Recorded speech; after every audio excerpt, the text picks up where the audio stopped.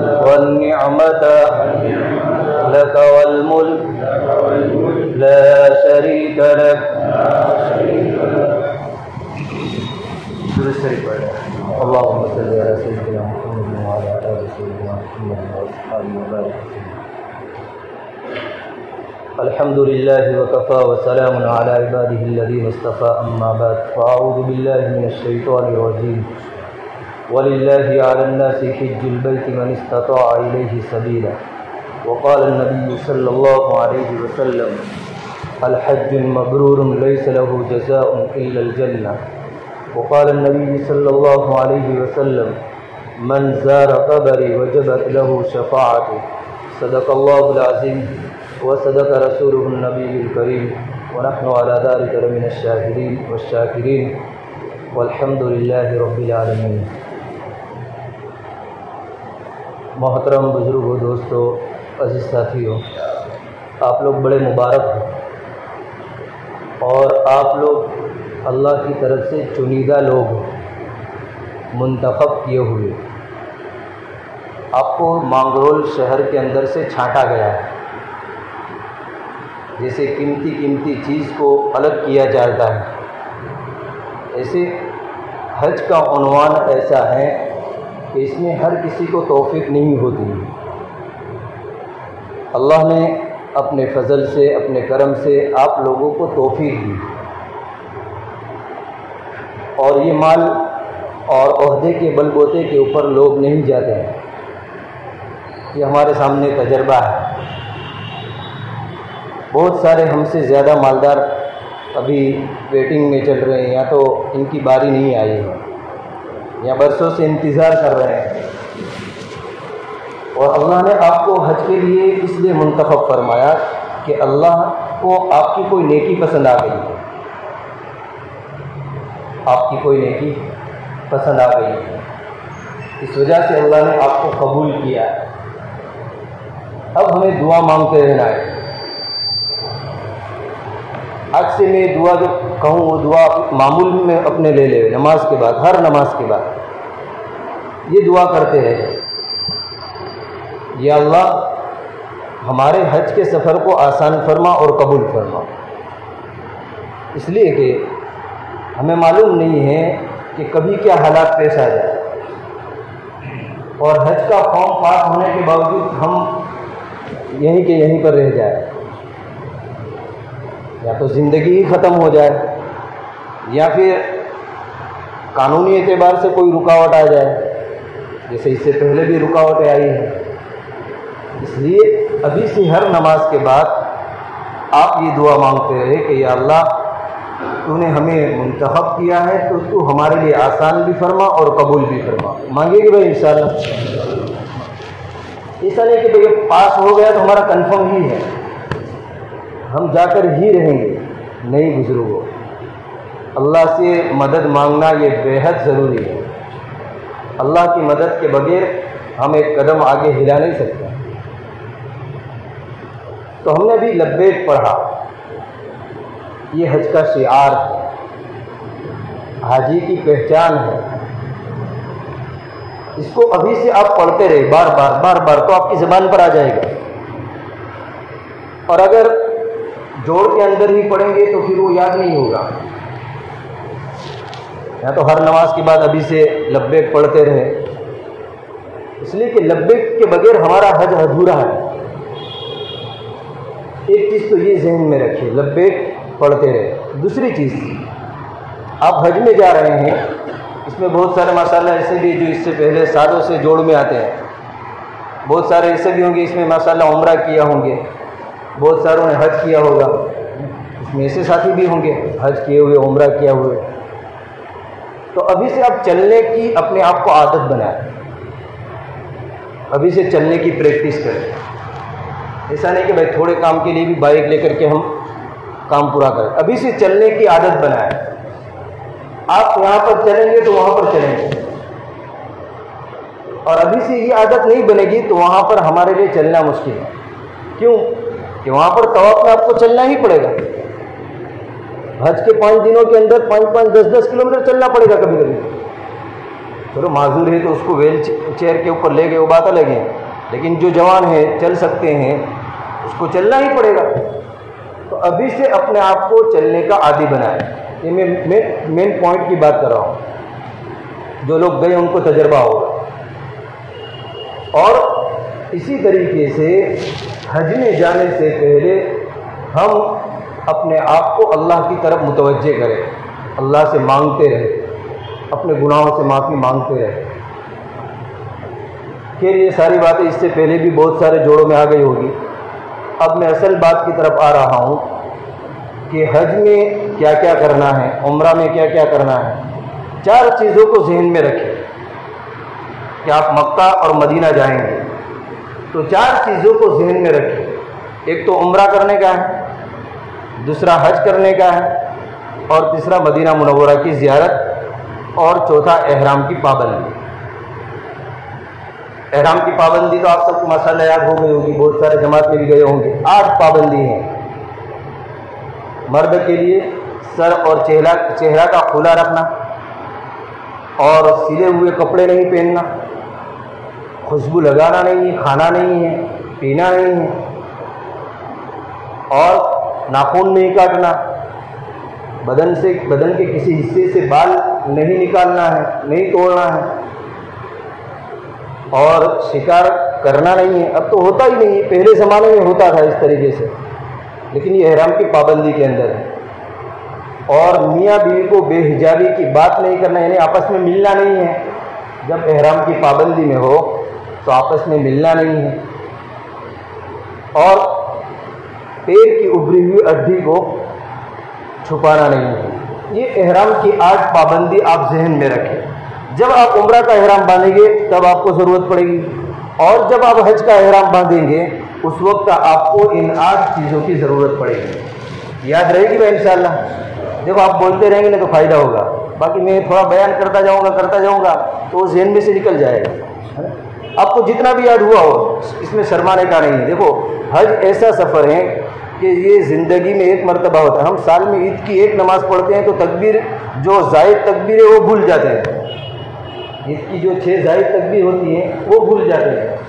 और हज का सफ़र तो ज़िंदगी में एक मरतबा होता है। तो इसमें तो ओलमा भी भूल जाते हैं, मैं भी भूल जाता हूँ। हर एक भूल जाते हैं।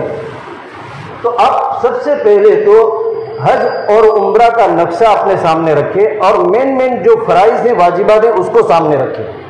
अभी नवाफिल के चक्कर में ना पड़े।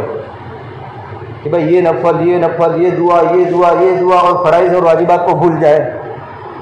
समझ में आ रही है बात? मेन फ़राइज और वाजिबात। इसलिए अगर इसमें कमी रहेगी तो हज नामुकम्मल रहेगा। वाजिबात छूटेंगे तो दम आएगा। और फ़राइज छूट गए तो हज ही नहीं होगा। उम्र में फ़र्ज़ छूट गया तो उम्र ही नहीं होगा। तो उम्र के अंदर माइक थोड़ा शुरू कर। उम्र के अंदर चार काम करने हैं, उम्र के अंदर चार काम करने हैं, और हज के अंदर नौ काम करने हैं। समझ में आया रहे उम्र में कितने काम हैं? बोलो, उम्र में कितने काम? चार। माशाल्लाह, अल्लाह खूब कबूल फरमाए। और हज के अंदर कितने काम हैं? नौ काम है। अब मैं उम्र का बताता हूँ। अब हज को साइड में रखिए। इसलिए कि हज की तीन किस्म है। हज इफरात हज किरान और हज तमत्तु। हम हज तमत्तु करेंगे। तमत्तु का माना क्या होता है? फ़ायदा उठाना। क्या फ़ायदा हम उठाएँगे तमत्तु में? कि पहले हम यहाँ से जाकर के उम्र करेंगे और एहराम से फारिग होकर अपने कपड़ों में आ जाएँगे, ये फ़ायदा उठाएँगे। फिर हज के दिनों में फिर एहराम बांधेंगे। तो बीच का वक्फा हुआ, वो फ़ायदा उठाना हुआ। इस वजह से इसको हज तमत्तु कहते हैं। और हमारे लिए आसानी इसमें है। हमारे लिए हज तमत्तु में। अगर कोई हज बदल के लिए जा रहा है, किसी ने वसीयत की है और हज बदल के लिए कोई जा रहा है, मरने वाले में तो उसके लिए हज इफराद अफजल है। हज इफराद के अंदर सिर्फ़ हज का ही एहराम होता है। जाते ही एहराम बाँध करके वो एहराम हज तक रखने का है। ये थोड़ा मुश्किल काम है, लेकिन आखिर में जो जाते हैं, उनके लिए आसान है। उनके लिए आसान है। फिर तो हज तमत्तु हम करेंगे। तीसरी किस्म हज तमत्तु। उसमें पहले उम्र होगा और फिर हज के दिनों में हज होगा। अब उम्र के चार काम याद रखें। पहला काम क्या है? एहराम लब्बेक और नीयत। ये तीन काम मिलकर एक काम हुआ। एहराम लब्बेक और नीयत। और दूसरा काम काबतुल्ला के साथ चक्कर लगाना। काबतुल्ला के? ये दो क्या हुए? बोलो। हाँ माशाल्लाह, दो फ़र्ज़ हुए। कितने हुए? फ़र्ज़ हुए दो। अब दो वाजिब हैं।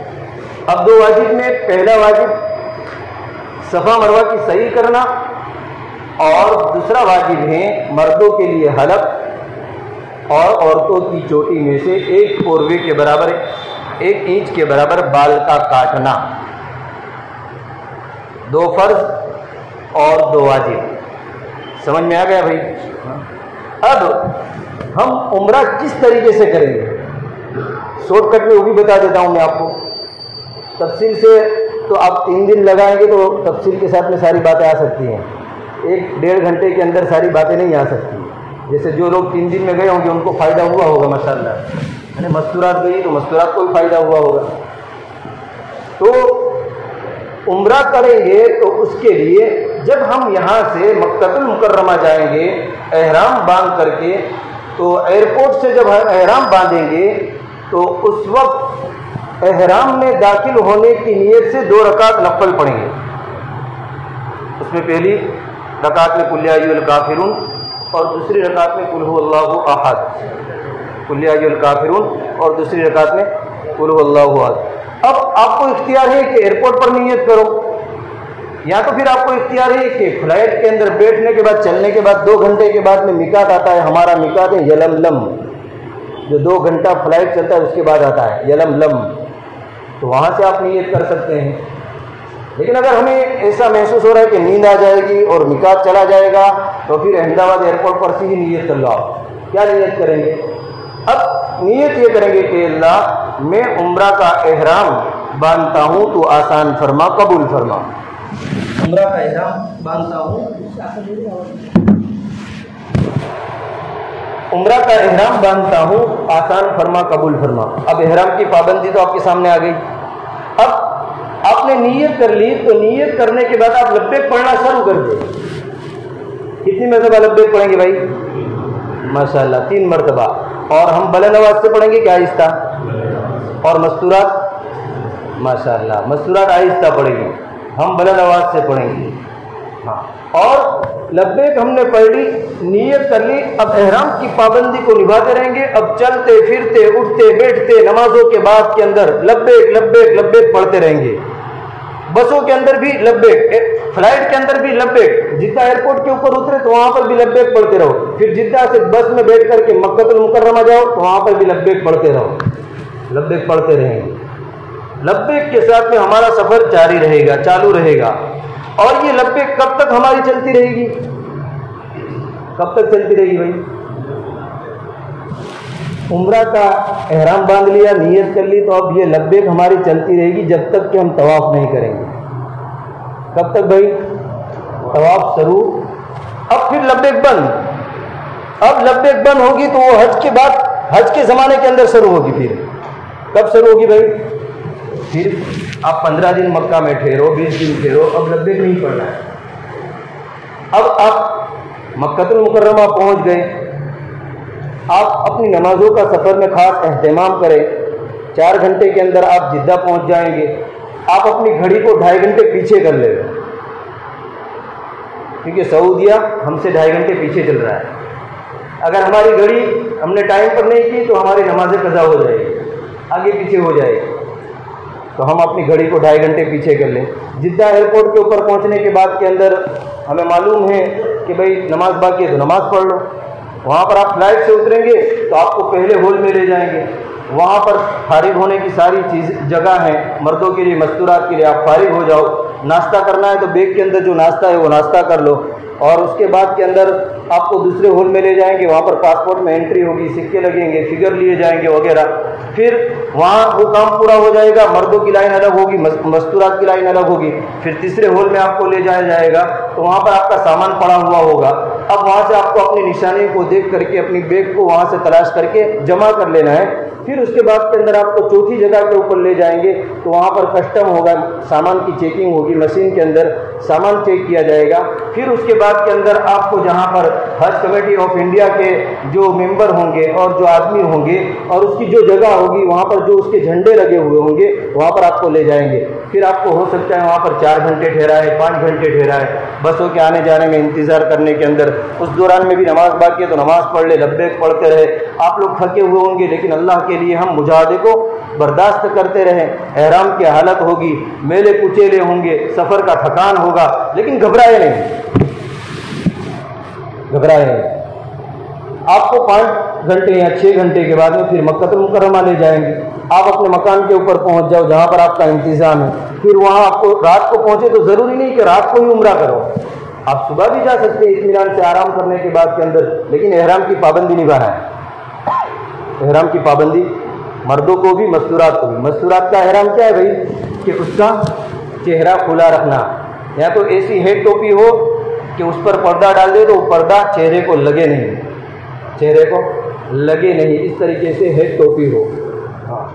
और इसके अलावा जो पाबंदी है, मर्द के लिए एहराम है औरतों के लिए एहराम नहीं है। अब वहाँ पहुँचने के बाद के अंदर आप उम्र करेंगे तो जब काबतुल्लाह की तरफ़ जाएँगे तो वहाँ पर अपने साथ में ग्रुप के आदमियों को लेकर के जाए। तो हमारे लिए आसानी होगी। और जिस रास्ते से जाए, उस रास्ते को जहन में रखे। जिस गेट से दाखिल हो, उस गेट को भी जहन में रखे, ताकि वापसी के अंदर हमारे लिए आसानी हो जाए। वापसी के अंदर हमारे लिए आसानी हो जाए। अब काबतुल्ला में पहुँच गए। अब मस्जिद हराम के अंदर आप दाखिल हो गए। तो नीची नज़र से आप चलते रहेंगे चलते रहेंगे। जैसे ही काबतुल्ला के ऊपर नज़र पड़े पहली नज़र आप दुआ करो। अल्लाह आपकी हर दुआ को कबूल फरमाएँगे। आपको पाँच मिनट का मौका मिले, दस मिनट का मौका मिले। आप दुआ करो। ऐसा नहीं कि लंबी चोरी। आप जाने दुआ मांग लो। रब्बना आतिना फिर दुनिया हसना, व फिल आखिरत हसना वकीना आजाबन्नार के अल्लाह हमें दुनिया की भलाई भी अता फरमा, आखिरत की भलाई भी अता फरमा। तो इसमें सारी चीज़ें आ गई। या तो ये दुआ कर ले कि अल्लाह मैंने आज तक जितनी दुआएँ की, और आइंदा मैं जितनी दुआ करूँगा, या अल्लाह इसको तू मेरे हक में कबूल फरमा, और या अल्लाह ये हज का सफ़र आखिरी सफ़र न बना। ये जामे दुआ है कि नहीं भाई? शॉर्टकट के अंदर सब दुआएँ आ गई कि नहीं? क्योंकि वहाँ पुलिस वाले ज़्यादा लंबी देर रास्ते में खड़े रहने भी नहीं दे रहे। तो आप इतनी जामे दुआ भी मांग लेंगे तो काफ़ी हो जाएगी। तो दुआ का अहतमाम अब आगे बढ़ेंगे। एहराम आपका पहना हुआ होगा। अब आपको इजतिबा करना है। इज्तिबा किसको कहते हैं? कि अपने सीधे कंधे से, सीधे कंधे के ऊपर से चादर को निकाल करके बाएँ कंधे के ऊपर डालना है। ये बगल खोल देना है। इसको इत्तिबा कहते हैं। फिर आगे बढ़ेंगे। अब देखेंगे कि लीली लाइट कहाँ पर है? लीली लाइट कहाँ पर है? जहाँ पर लीली लाइट है, उसी लाइन के ऊपर आप चले जाओ तो वहीं पर हजर असवद वहीं पर हजर असवद देखो काबतुल्ला के चार मंजिलें हैं। नीचे अंदर, सीढ़ी उतर कर और फिर उसके ऊपर तीन मंजिलें। हर मंजिल में तवाफ होता है। अगर पहले में भीड़ है, दूसरे में चले जाओ। दूसरे में भीड़ है, तीसरे में चले जाओ। चौथे में चले जाओ। वहाँ पर इलेक्ट्रिक सीढ़ियाँ हैं। या हम आम चढ़ना चाहे तो आप आप इस तरीके से भी चढ़ सकते हैं। तो चार मंजिलें काबतुल्ला के अंदर आप पहुँचेंगे, इजतिबा कर लेंगे, चादर को निकाल लेंगे, अब उसके बाद के अंदर हजर असवद के पास में आएँगे और उसके बाद के अंदर हम सबसे पहले नीयत करेंगे। क्या नीयत करेंगे? ये अल्लाह, मैं उम्र का तवाफ़ करता हूँ तो आसान आसान फरमा और कबूल फरमा। ये नीयत करेंगे। अब नीयत हो गई। इजतिबा हो गया, चादर को निकाल लिया। अब इस्तकबाल करेंगे। क्या करेंगे? इस्तकबाल यानी इस तरीके से हाथ उठाएँगे और अल्लाह अकबर अल्लाह अकबर कह के हाथ को छोड़ देंगे। फिर इस्तिलाम करेंगे। इस्तिलाम किसको कहते हैं? बोसा देना जिसको कहते हैं। अब हाथ इस तरीके से करेंगे। चेहरा हमारा हजर असवद की तरफ़ होगा। अब इस तरीके से इस्तिलाम करेंगे और यूँ पढ़ेंगे बिस्मिल्लाह अल्लाह वलिल्लाहिल हम बाद में बोलेंगे। इस तरीके से किया। बिस्मिल्लाह अल्लाह अकबर। वलिल्लाहिल बोसे में आवाज़ नहीं आनी चाहिए। अब काबतुल्ला के हर चक्कर के वक्त बोसा देंगे। टोटल कितने चक्कर है भाई? सात चक्कर है। तो कुल कितने बोसे होंगे? नहीं, अभी सात का कहो। कुल कितने बोसे होंगे? अभी सात बोसे होंगे। आखिर में जब पूरा होगा, उस वक्त आठवां बोसा होगा। सात चक्कर के सात बोसे। और फिर आठवां बोसा जब सफ़ा मरवा की सही के लिए हम जाएँगे, उस वक्त हम देंगे। समझ में आया भाई? तो आखिर के अंदर हम आठवां बोसा देंगे। तो एक इस्तिकबाल होगा और आठ इस्तिलाम होंगे। समझ में आया भाई? बोसा, यानी इस्तिलाम यानी बोसा। अब तवाफ करेंगे तो काबतुल्ला की तरफ़ न पीठ करेंगे, न चेहरा करेंगे। अब तवाफ करेंगे तो क्या पढ़ेंगे? बोलो। क्या पढ़ेंगे भाई? तीसरा कलमा पढ़ेंगे। क्या पढ़ेंगे? तीसरा कर, देखो ये इम्तिहान नहीं आपकी आसानी के लिए। आप बोलेंगे तो आपको याद हो जाएगा। इम्तिहान नहीं है। आपकी आसानी के लिए। अब तवाफ करेंगे तो पहले हजरा असमत से शुरू करेंगे तो उसके बाद के अंदर रुकने इराकी आएगा। रुकने इराकी यानी कोना का नाम है। इराक का कोना। वो कोना इराक की तरफ़ जाता है। फिर उसके बाद में शाम की तरफ़ एक कोना जाता है। फिर उसके बाद के अंदर एक कोना आता है। वो यमन की तरफ़ जाता है। तो यमन के कोने तक हम पहुँचेंगे, वहाँ तक क्या पढ़ेंगे? तीसरा कलमा पढ़ेंगे। और इसी तरीके से रुकने यमानी से लेकर के जो हजर असवद जिस कोने को हिंदुस्तानी कोना कहते हैं, वो कोना हिंदुस्तान की तरफ़ है। तो वहाँ तक रब्बना आतीना वाली दुआ पढ़ेंगे। रब्बना आतीना फिद दुनिया हसनत व फिल आखिरति हसनत व किना अज़ाबन्नार व अदखिलना जन्नत माल अबरार या अज़ीज़ या गफ्फार या और तीसरा कलमा सुबहान अल्लाह वल्हम्दुलिल्लाहि वला इलाहा इल्लल्लाह वल्लाहु अकबर वला हौला वला कुव्वता इल्ला बिल्लाहिल अलिय्यिल अजीम अब ये पढ़ते रहेंगे चाहे दस मरतबा हो या पाँच मरतबा हो या बीस मरतबा हो अगर याद नहीं है ये दुआ या ये कलमा याद नहीं तो सुबह अल्लाह सुबह अल्लाह ज़िक्र करते रहे अल्हम्दुलिल्लाह अल्हम्दुलिल्लाह, ज़िक्र करते रहे। अल्लाह अकबर अल्लाह अकबर पढ़ते रहे। या तो फिर दिल ही दिल के अंदर कुरान पढ़ते रहे, अगर आपको जबानी कुरान याद है। देख कर वहाँ पर कोई किताब ना पढ़े। और देख कर वहाँ पर बहुत सारे लोग चिल्ला चिल्ला कर कुरान पढ़ते हैं। दुआएँ पढ़ते काफले के काफले, एक पढ़ाता है और दूसरे काफले वाले पढ़ते हैं। मैंने तो देखा वहाँ पर अक्सर कि एक पढ़ाने वाला होता है, इंडोनेशिया, मलेशिया के जो लोग आते हैं, एक पढ़ाता है और दूसरे पढ़ते रहते ऐसा वहाँ पर नहीं करना है, बल्कि हम खुद जितना याद होंगे, वो पढ़ते रहेंगे और दिल ही दिल में ज़िक्र करते रहेंगे, या फिर ये मसनून अमल, इसरा कलमा और रब्बना आतीना वाली दुआ पढ़ते रहेंगे। अब तवाब के साथ चक्कर होंगे। उसमें सातों चक्कर में चादर तो हमारी निकली हुई रहेगी, यहाँ से और इस कंधे के ऊपर रहेगी। तीन चक्कर के अंदर रमल करेंगे। यानी क्या भाई, पहलवान की चाल चलेंगे, अकड़ करके। आप वहाँ पर हुजूम में अकड़ कर चलना चाहेंगे तो नहीं चल सकेंगे। लेकिन थोड़ी स्टाइल कर ले। अकड़ने की एक सुन्नत अदा कर ले तीन चक्कर के अंदर।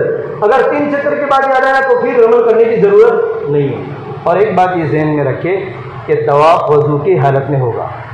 बगैर वज़ू के तवाफ़ नहीं होगा। मस्तूरात नापाकी की हालत में हैज़ की हालत के अंदर है तो मस्तूरात के लिए तवाफ़ का हुक्म नहीं है। अगरचे उसने उम्र की नीयत कर लिए वो या तो अपने मकान में रहेगी, या हरम का जो मस्जिद का हिस्सा है, उससे बाहर रहेगी। समझ में आया भाई?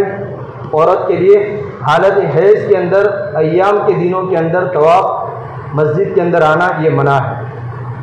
चाहे उम्र की नीयत कर ली हो। इसके मसाइल बाद में इंशाल्लाह बताएँगे। अब, पहले चार चक्कर के अंदर वज़ू टूटा है तो नए सिरे से वज़ू करके, नए सिरे से तवाफ करेंगे। और अगर चार चक्कर के बाद वज़ू टूटा है तो जहाँ से हमारा तवाब बाकी है, वहाँ से वज़ू करके बाकी के तवाफ को पूरा करेंगे। समझ में आया भाई? इस तरीके से पूरा करेंगे। और अगर तवाब के दरमियान थक गए, इसलिए कि सात चक्कर के अंदर कभी कभी आधा घंटा भी होता है, कभी एक घंटा भी होता है, कभी पौना घंटा भी होता है तो आप बैठ सकते हैं। थोड़ा आराम के लिए बैठ सकते हैं, लेकिन आपको याद रखना पड़ेगा कहाँ से बाकी है। और वज़ू टूट गया है तो पहले हरम शरीफ के बाहर जाना पड़ता था वज़ू करने के लिए। अब मैंने वहाँ पर देखा कि हरम शरीफ के अंदर ही जहाँ तवाफ करने की जगह है, आप थोड़ा ऊपर सीढ़ी चढ़ेंगे तो अलग अलग कोनों के अंदर वज़ू खाने बनाए हुए हैं। बाहर निकलने की ज़रूरत नहीं पड़ती हरम के बाहर। क्या आप वज़ू हाँ कज़ाए हाजत के लिए पेशाब पानी से फारिग होने के लिए बाहर ही आना पड़ेगा। वो अंदर नहीं बनाया वो तो बाहर ही है। तो आप वज़ू वहीं पर भी बना सकते हैं। तो ये आपका उम्र का काम चल रहा है, तवाफ चल रहा है, और तवाफ के साथ चक्कर पूरे होंगे। एक इस्तकबाल होगा, आठ बोसे होंगे, और पाकी की हालत के अंदर तवाफ होगा, और तवाफ के अंदर तीसरा कलमा, और रब्बना आतीना वाली दुआ पढ़ते रहेंगे। अब आप हालत हराम में हो तो काबतुल्ला को चूमने के लिए ना जाए उनकी दीवार को उनके पर्दे को चुनने के लिए न जावे, इसलिए कि उसमें खुशबू लगी हुई होगी। और आप खुशबू आपको लग जाएगी तो आपके ऊपर दम आएगा। हाँ आप कब काबतुल्ला की दीवार को चुन सकते हैं, हाथ लगा सकते हैं? जबकि आप अपने कपड़े में आ जाओ। जबकि आपका एहराम निकल जाए, आपका उम्र पूरा हो जाए उस वक्त आप काबतुल्ला को, हजर असवद को बिल्कुल करीब से भी बोसा दे सकते हैं। और रुकन यमानी जो पत्थर है, जन्नत का, उसको भी बोसा दे सकते हैं। और फिर आप हतीम के अंदर जाकर के दो रकात नमाज़ भी पढ़ सकते हैं। मुलतजम में जो काबतुल्ला और हजर असवद के दरमियान की जगह है, जहाँ चिमट कर दुआ की जाती है, वहाँ पर आप चिमट सकते हैं। मिजाब रहमत जो परनाला है, जिसको डंडूला अपनी ज़ुबान में कहते हैं, वहाँ पर उसके नीचे जाकर के आप दुआ मांग सकते हैं। इसी तरीके से मकाम इब्राहिम, जहाँ पर हज़रत इब्राहिम सलाम के पैरों के निशाने जिस पर आपने चढ़कर काबतुल्ला को बनाया, वो पत्थर ऑटोमेटिक ऊँचा होता था और ऑटोमेटिक नीचा होता था। वो पत्थर आज भी वहाँ पर काट की कोटड़ी के अंदर बंद है, लेकिन उसको भी हाथ नहीं लगाना है पेटी को, क्योंकि उसमें भी खुशबू लगी हुई होती है। तो उम्र का कितना काम हुआ भाई? बोलो, चार काम में से कितने काम हुए? दो काम हुए। एहराम लब्बेक नीयत। और दूसरा क्या किया हमने? बोलो। तवाफ। अब तवाफ कर लिया तो तवाफ के बाद में दो दो रकात वाजिब तवाफ पढ़ना है। और बेहतर ये है कि मकाम इब्राहिम के पास में पढ़ो। अगर वहाँ पर जगह नहीं है तो पूरे हरम में आप जहाँ भी पढ़ना चाहें पढ़ सकते हैं। उसमें क्या पढ़ेंगे भाई? पहली सूरत में अलहमद शरीफ के बाद, और दूसरी सूरत में माशाल्लाह, पहली सूरत में, पहली रकात में अलहमद शरीफ के बाद, कुलिया काफिर और दूसरी रकात में अलहमद शरीफ के बाद अल्लाह की सूरत को पढ़ेंगे। अब आपकी वाजिब तवाब अदा हो गई। उसके बाद थोड़ी मुख्तसर दुआ कर लो। उसके बाद के अंदर आप जमजम का पानी पियो।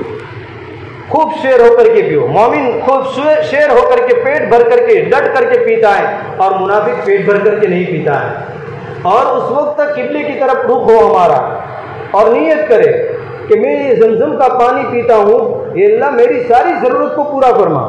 जो भी परेशानियाँ हो, उस परेशानी को उस वक्त अल्लाह के सामने रखे दुआ करे। अल्लाह मेरी सारी परेशानियों को दूर फरमा। या अल्लाह मेरे हज को कबूल फरमा। तो अल्लाह उसकी उस नीयत के ऊपर फैसला फरमाते हैं माँ जमजम लिमा शरीब हदीस में आता है कि जमजम का पानी जिस नीयत से पिया जाता है, वो नीयत पूरी होती है।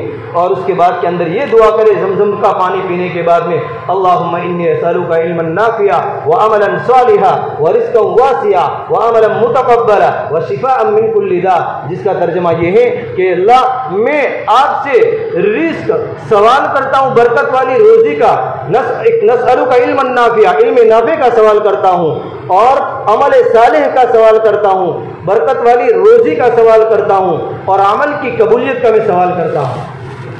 अगर अरबी में याद नहीं तो आप उर्दू में तो इस तरीके से मांग सकते हैं भाई। उर्दू के अंदर तो उर्दू के अंदर तो आप दुआ मांग सकते हैं, गुजराती ज़बान के अंदर दुआ मांग सकते हैं। जमजम का पानी पी लिया। अब आप बोसा दे करके सफ़ा मरवा की सही की तरफ़ जाएँगे। या तो पहले बोसा दे दो। बोसा दे करके सफ़ा मरवा की सही, जिस तरफ़ आप बोसा देंगे ना हज़रत को, उसी लाइन पर चले जाओ। सफ़ा पहाड़ी होगी। उसी लाइन के ऊपर आप ऊपर की तरफ़ थोड़ा जाओ तो सफ़ा पहाड़ी। अब वहाँ पर पहुँचने के बाद के अंदर ये हमारा जो इजतिबा था ना, वो तो हम जब वाजिब तवाब पढ़ेंगे ना, उसी वक्त निकल गया होगा। चादर की तरह, साल के तरीके से आप ओढ़ लेंगे। वाजिब तवाब जब पढ़ेंगे तभी ओढ़ लेंगे। अब हमको इतबा का और रमल का यहाँ पर कोई मसला नहीं है। अब सफ़ा पहाड़ी के ऊपर पहुँच गए, अब नीयत करो। कि अल्लाह मैं उम्र की सही करता हूँ तो आसान फरमा, कबूल फरमा। और ये आयत पढ़े अब बिमा बद अल्लाह भी इन सफ़ा वल मरवत मिन शाह इस तरीके से अगर याद हो, या तो अल्लाह में सफ़ा की नीयत, उम्र के मैं मैं नियत करता हूँ या अल्लाह उम्र की सही की नियत करता हूँ तो आसान फरमा, कबूल फरमा। अब वहाँ से हम चलना शुरू करेंगे। अब जहाँ तक ग्रीन लाइट आएगी, वहाँ तक चलते रहेंगे चलते रहेंगे। अब ग्रीन लाइट आ गई तो थोड़ा तेज़ चले। मर्दों के लिए तेज़ चलना है, औरतों के लिए आहिस्ता चलना है। और उस वक्त वहाँ पर ये दुआ पढ़ेंगे रब फिर वर हम रब फिर वर हम व अंतल अजुल अक्रम ये दुआ पढ़ेंगे। क्या पढ़ेंगे? वरना पूरी सफ़ा पहाड़ी के अंदर, सफ़ा से मरवा तक के अंदर चौथा कलमा पढ़ेंगे क्या पढ़ेंगे भाई? चौथा कलमा पढ़ेंगे लेकिन ग्रीन लाइट आएगी, वहाँ पर ये दुआ पढ़ना मसनून है। रब्बी फिर वरहम व तजावज़ अम्मा तारम इन का अंतल अजुल अक्रम। इस तरीके से लंबी दुआ है। या तो इस तरीके से पढ़ो रब्बी फिर वरहम व अंतल अजुल अक्रम। अब ग्रीन लाइट जितनी है, उतनी देर दौड़ेंगे। लेकिन ऐसा भी नहीं दौड़ेंगे कि हमारी मस्तूरात को हम भूल जाए। दौड़ने की एक शक्ल बना ले। दौड़ने की एक शक्ल बना ले और इस तरीके से हम दौड़ेंगे। सफ़ा से मरवा एक चक्कर, मरवा से सफ़ा दो चक्कर। इस तरीके से सफ़ा से मरवा मरवा से सफ़ा हमारे मरवा के ऊपर सात चक्कर पूरे होंगे। देखो, बाजे मरतबा लोग सीख कर नहीं जाते ना तो क्या होता है? सफ़ा से मरवा मरवा से सफ़ा, एक चक्कर समझते हैं। क्या समझते हैं? और फिर जब बिल्डिंग पर आते हैं कि मैं बहुत थक गया। भाई क्या हुआ? तो कि मैं सफ़ा मरवा की सही ऐसे की है? कि मैं बहुत थक गया भाई किस तरीके से की? तो कि मैंने इस तरीके से की, भाई तेरे चौदह चक्कर हो गए। कितने चक्कर हो गए? तो फिर थक ही जाएगा ना। मुझे पता ही नहीं कि भाई सफ़ा से मरवा एक चक्कर हो गया, मरवा से सफ़ा फिर दूसरा चक्कर हो गया। तो ये जहन में रखें और फिर सफ़ा पहाड़ी के ऊपर भी आप दुआ कर सकते हैं, मरवा पहाड़ी के ऊपर भी दुआ कर सकते हैं। आखिर में आपकी सही पूरी हो जाए तो दो रकात नमाज़ पढ़ करके आप मरवा पहाड़ी के ऊपर भी आप दुआ कर सकते हैं। तो ये ये उम्र का क्या हुआ भाई? बोलो, चार काम मैंने बताया ना उम्र के। दो दो फ़र्ज़ हैं, दो वाजिब। इसमें से दो तो फ़र्ज़ बता दिए। अब ये उम्र का तीसरा वाजिब अदा हुआ। क्या हुआ? यानी कि उम्र के दो ही वाजिब है, लेकिन ये उम्र का तीसरा काम वाजिब पूरा हुआ, एक वाजिब पूरा हुआ। अब ये उम्र का वाजिब एक पूरा हो गया तो दूसरा वाजिब है हलक करना। क्या करना है? हलक करना। मर्दों के लिए हलक। हलक करने वालों के लिए अल्लाह के नबी सलाम ने तीन दुआएँ दी, और कतरवाने वाले के लिए एक दुआ दी। तो हम हलक कराएँगे। हम रास्ते में कहीं इधर उधर हलक नहीं कराएँगे। इतमान से जहाँ दुकान हो, वहाँ पर पाँच रियाल, दस रियाल के अंदर जो भी दाम हो, तय करके वहाँ पर हलक कराएँगे। मस्तूरात हैं, घर पर इतमान से पहुँच जाए, उसके बाद के अंदर घर का मर्द महरम, उसकी बाल की चोटी के अंदर से एक पौरवे के बराबर बाल काटेगा। तो वो भी उम्र के हराम में से बाहर आ जाएगी, और हम भी उम्र के हराम के अंदर से बाहर आ जाएँगे। तो उम्र के कुल कितने काम हुए भाई? समझ में आ गया भाई? आसान है कि मुश्किल है भाई? बहुत आसान है। अब हज के जो काम है, वो नौ है। कितने काम है? नौ काम है। इसमें फ़र्ज़ कितने हैं? बोलो। तीन फ़र्ज़ हैं और छः वाजिब हैं। तीन फ़र्ज़ में पहला फ़र्ज़ तो वही है जो मैंने उम्र का बताया। कौन सा बताया उम्र का? एहराम लब्बेक और नीयत। और दो काम के अंदर अरफात के मैदान में ठहरना और तीसरा तवाफ़ ज़्यारत। ज़्यारत नहीं, हज का तवाफ़ तवाफ़ ज़्यारत का मतलब क्या? हज का तवाफ़ तो ये तीन क्या है भाई? हाँ बोलते हैं माशा आपको याद हो जाएगा। और छः क्या है? वाजिब। पहला वाजिब कौन सा है? मुजदलिफा के अंदर। बोलो। मुजदलिफा में ठहरना। मुजदलिफा जगह का नाम है। और दूसरा वाजिब, शैतान को कंकरी मारना। तीसरा वाजिब कुर्बानी करना। चौथा वाजिब, जो उम्र का काम हलक है, वो हलक करना। पांचवा वाजिब, सफ़ा मरवा की सही करना, यानी हज की सही करना। छठा वाजिब, तवाफ़ विदा करना। कितने काम हुए हज के? छः अब आपको वो सारी बातें जहन में रखनी है जो मैंने पहले बतलाई, कि उम्र के अंदर एहराम की पाबंदी है, वैसे हज में भी एहराम की पाबंदी है। वैसे हज के अंदर भी एहराम की पाबंदी है। अब उम्र और हज में फ़र्क क्या है कि हज, ये हज के दिनों के अंदर ही होगा। आठ, नौ, दस, ग्यारह, बारह। भाई, ये अंग्रेज़ी तारीख के इस्लामी तारीख? हाँ जिल हिज्जा की तारीख शुमार करनी है। अंग्रेज़ी तारीख नहीं। आठवीं जिल हिज्जा नौवीं जिल हिज्जा दसवीं जिल हिज्जा ग्यारहवीं जिल हिज्जा और बारहवीं जिल हिज्जा अब हज बहुत आसान है, बहुत। हम बहुत ज़्यादा बोझ ले लेते हैं, हमको लोग घबरा देते हैं कि हज ऐसा है, वैसा है, हालाँकि कुछ भी नहीं। अब ये पाँच दिन का नक्शा अपने जहन में रखो कि आठवीं जिलीजा को मुझे क्या करना है? फिर नौवीं जिलीजा को मुझे क्या करना है? दसवीं जिलीजा को क्या करना है? ग्यारहवीं जिलिज्जा को क्या करना है? और बारहवीं जिलिज्जा को क्या करना है?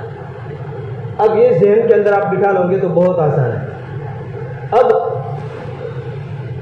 आठवीं जिलिज्जा से पहले सातवीं जिलिज्जा होगी तो आपके मौलिम आपकी बिल्डिंगों के अंदर आएँगे मौलिम के आदमी आएँगे और कहेंगे, देखो, आपको मीना जाना है तैयारी कर लो। मीना जाना है। तो सुबह से ही ना धो करके, गुसल करके, हजामत बना करके हाँ और अच्छी तरीके से अपने आप को पाक साफ़ कर ले और जाने से पहले पहले तैयार होकर के एहराम की दो चादरें बाँध ले। और एक बैग अपनी मस्तूरात का तैयार कर ले। और एक बैग मर्द का तैयार कर लिया। इसलिए कि आपको वहाँ पर तंबू में ठहराएँगे तो मर्द और मस्तूरात दोनों एक साथ में एक तंबू में अब नहीं रहते पहले क्या होता था कि एक तंबू में बीच में पर्दा डालते थे। लेकिन अब वहाँ पर ऐसा होता है कि एक तंबू के अंदर सौ आदमी है तो उसके सामने दूसरे तो तंबू के अंदर सौ मस्तूरात अलग तंबू है, सामने ही होगा। चंद कदम के फासलों के ऊपर। इस तरीके से होता है। तो आप अपना एक बैग अलग तैयार करें और एक अपनी मस्तूरात का बैग। अब वहाँ पर पाँच दिन के लिए जो ज़रूरी सामान है, काम की चीज़ें, वो ले। पूरा सामान न ले।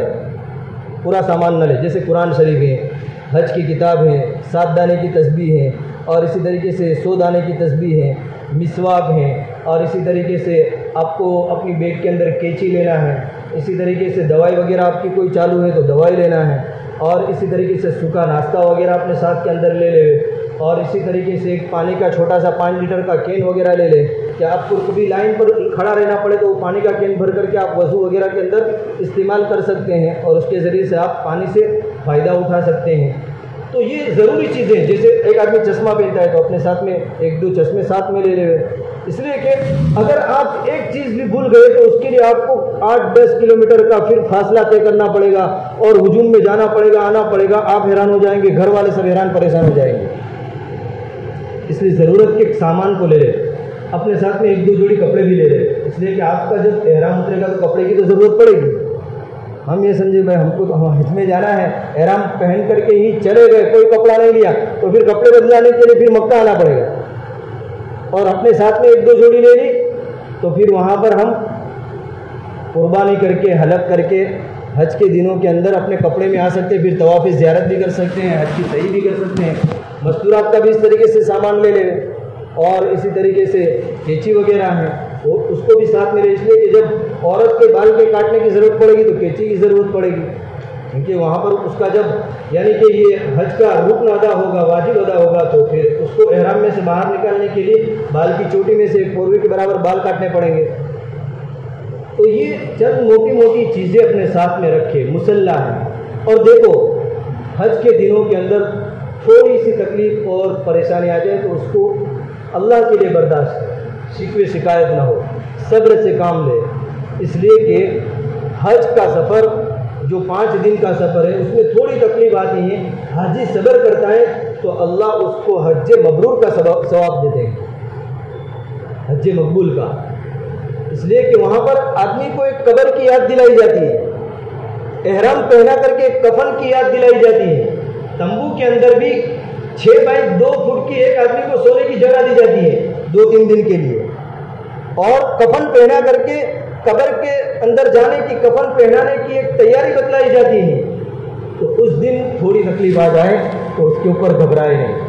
अल्लाह के लिए सबर करें। अब हज के जो पाँच दिन हैं, सामान आपने बैग तैयार कर लिया। अब आपको मोहल्लिम के आदमी कहेंगे कि चलो भाई, हज के लिए जा, चलना है। तो आपको आसानी हो तो हरम शरीफ चले जाओ। वहाँ पर जा कर के हराम में दाखिल होने की नीयत से दो रकात नमाज़ पढ़ लो। क्या कर लो? क्योंकि इसमें भी हराम में भी दाखिल होने की नीयत से दो रकात नमाज़ तो पढ़ेगी पढ़नी पड़ेगी। और अगर आप मक्का हरम के अंदर नहीं जा सकते अपनी बिल्डिंग से तो अपनी बिल्डिंग के अंदर नमाज़ पढ़ लो। और नमाज़ पढ़ने के बाद के अंदर नीयत कर लो। जब बस में बैठे तो उस वक्त नीयत कर लो कि या अल्लाह, जैसे पहले उम्र की नीयत की थी, अब हज की नीयत कर लो कि या अल्लाह, मैं हज की नीयत करता हूँ तो आसान फरमा कबूल फरमा हज की नीयत करता हूँ तो आसान फरमा कबूल फरमा अब ये नीयत हो गई तो अब एहराम की पाबंदी वापस पहले की तरीके से आ गई अब ये एहराम की पाबंदी आ गई, और दूसरा है कि आपको लब्बेक पढ़ते रहना है। क्या करना पड़ेगा? पहले आपने जब उम्र का सवाब शुरू किया तो लब्बेक बंद हो गई अब हज का एहराम बाँध लिया तो लब्बेक शुरू हो गई। अब लब्बेक शुरू हो गई तो अब ये लब्बेक चलती रहेगी चलती रहेगी। बरन आवाज़ के साथ के अंदर मर्द भी, औरतें भी पढ़ती रहेगी। औरतें आहिस्ता पड़ेगी पस्त आवाज़ के अंदर पड़ेगी अब ये लब्बेक हर नमाज़ के बाद तीन तीन मरतबा पढ़ते रहे। चलते फिरते बसों में जाते हुए भी लब्बेक पढ़ते रहेंगे। मीना में भी मुस्तरिफा के अंदर भी, और अरफात के अंदर भी लब्बेक पढ़ते रहेंगे। यहाँ तक कि ये लब्बेक वहाँ तक हमारी चलती रहेगी, जिस दिन के हम दसवीं जिलिज्जा को, बड़े शैतान को कंकरी मारेंगे। कब तक चलती रहेगी भाई? दसवीं तारीख को बड़े शैतान को कंकरी मारेंगे, वहाँ तक लब्बेक चलती रहेगी। अब ये लब्बेक बंद। अब वापस लब्बेक पढ़ने की नहीं है। समझ में आ गए भाई? और आपको आठवीं जिलिजा के अंदर, बस के अंदर आपको ले जाएँगे मीना। अब मीना में ट्रैफ़िक और हजूम की वजह से वो लोग जल्दी ले जाते हैं, सातवीं तारीख को ही ले जाते हैं। तो आपको शायद मीना के तंबू के अंदर छः नमाज़ के बजाय आठ भी पढ़नी पड़े। नौ भी पढ़नी पड़े तो हम शिकायत ना करें कि भाई इतनी ज़्यादा यह नमाजें क्यों हुई? वो बस वाले सहूलत की वजह से हाजियों की आसानी के लिए जल्दी मीना में पहुँचा देते हैं। अगर हम जल्दी पहुँच गए और सात, आठ नमाज़, नौ नमाज़ भी पढ़नी पड़े तो कोई हरज नहीं है, हमारा मीना का कयाम सही हो जाएगा। ऐसे वहाँ पर छः नमाज़ पढ़नी है कि आठवीं जिलिजा की, आठवीं जिलिजा की फजर से लेकर के दूसरे दिन की फजर, या तो पाँच नमाजें पढ़नी है जोहर से लेकर के दूसरे दिन नौवीं जिलिजा की फजर तक। समझ में आया? अब मीना के अंदर कोई काम नहीं है। अब मीना के अंदर ज़िक्र फ़िक्र करते रहो। अब नौवीं जिलिजा को क्या करना है वो आठवीं तारीख को देखो। नौवीं जिलिजा को क्या करना है? वो आठवीं तारीख को देखो, खाने के वक्त पर खाना खा लो वहाँ पर फारिग होना है तो वहाँ पर मर्दों के लिए अलग है, औरतों के लिए अलग है। वहाँ पर आप फारिग हो जाओ। गुसल की हाजत है तो गुसल भी वहाँ पर कर सकते हैं, मीना के अंदर भी।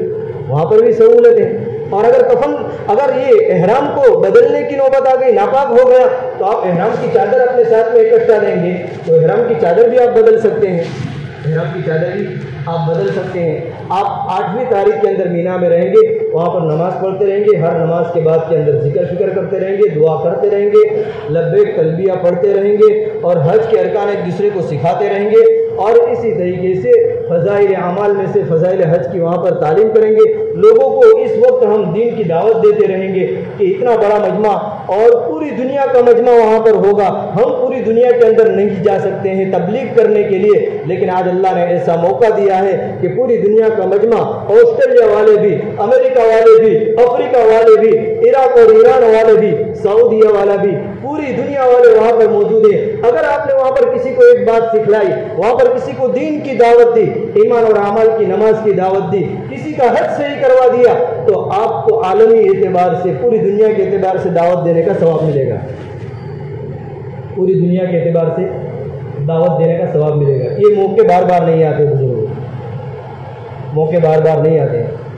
ये ज़िंदगी में हमारा कभी एक हज होता है, कभी अल्लाह मौका देते हैं तो दो तीन हज कर लिए। बार बार ऐसे मौके नहीं आते इसलिए हम घबराए नहीं, हिम्मत से काम ले, सब्र करें।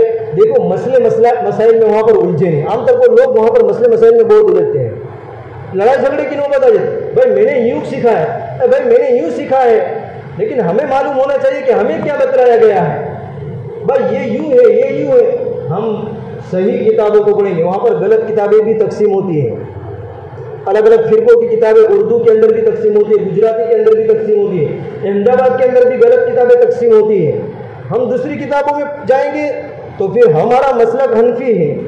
और हम अहल सुन्नत और जमात के लोग हैं तो फिर दूसरे मसलक के किताबों में, दूसरे मसलक के लोगों की बातों में आएँगे तो फिर हमारा हज खराब हो जाएगा। हमारा उम्र खराब हो जाएगा। हम, हमें तो ये जहन में होना चाहिए कि हमें क्या सिखाया गया है। हमें जोड़ के अंदर क्या बतलाया गया हमें तीन दिन के अंदर क्या बतलाया गया अभी इंशाल्लाह आपका पूरे एक दिन का जोड़ रखेंगे। सुबह से लेकर शाम तक, मर्दों का भी, और मस्कुरात के साथ के अंदर इंशाल्लाह तारीख दे करके जोड़ रखेंगे। उसमें भी सारी बातें आएँगी। और इससे पहले भी जमातें बनेगी, मर्दों की मस्तूरात की। उसके अंदर भी सारी बातें आएगी। तो मैं ये अर्ज़ कर रहा था कि आप मीना में पहुँच गए, आठवीं तारीख का काम चल रहा है।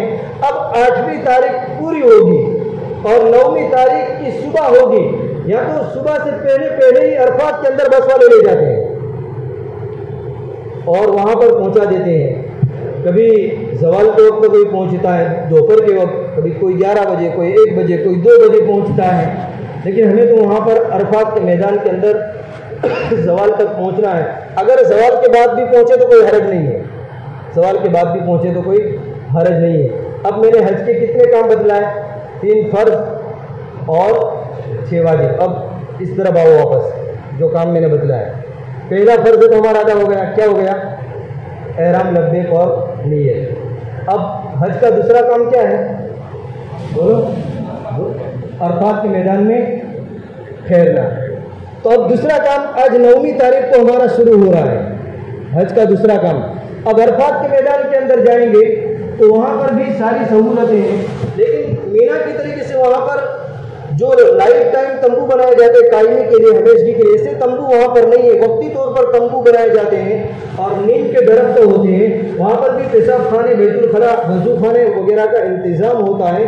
तो आप अरफात के मैदान के अंदर भी फारिग हो सकते हैं और अरफात के मैदान के अंदर आप जाएँगे तो उस वक्त वहाँ पर जोहर के वक्त में जोहर पड़ेंगे और असर के वक्त में।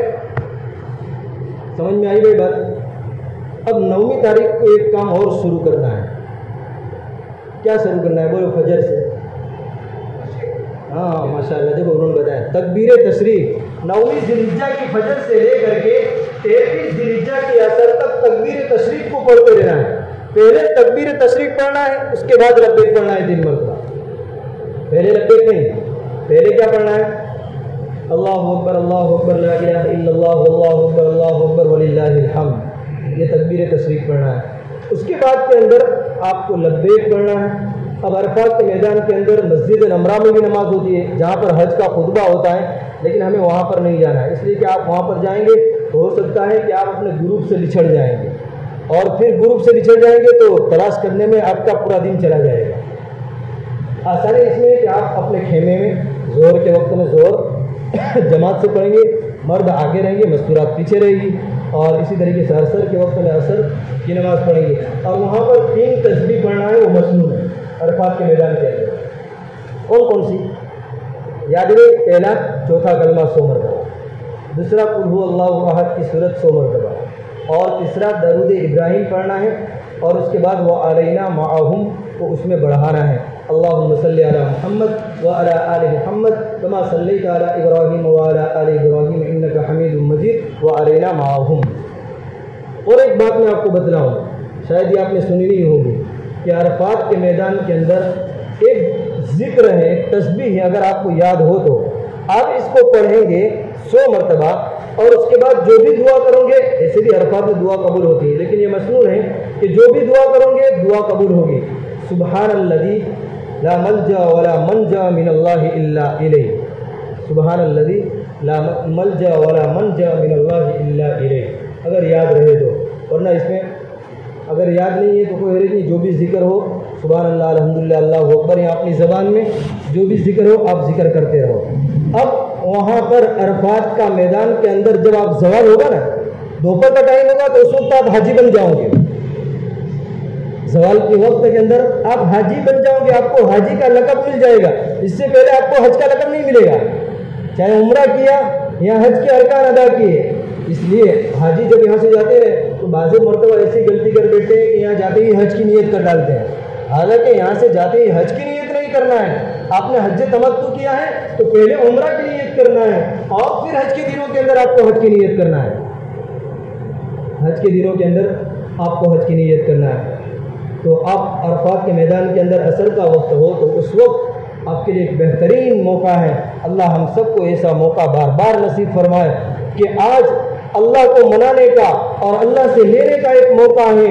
हम बिखरे हुए बाल के साथ के अंदर और बड़ा गंदा हमारी हालत है और दर्द गुबार हमारे जिसम को लगा हुआ है।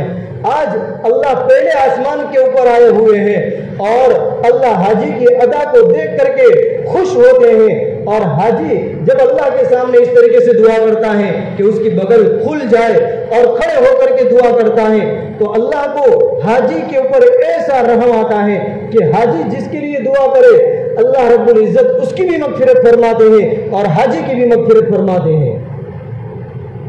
हाजी की भी मगफिरत और हाजी जिसके लिए दुआ करें, उसकी भी मफफरत और अल्लाह फरमाते हैं कि मेरे बंदो, आज मुझसे तुम मांगो, जो मांगना हो मैं अता करूँगा।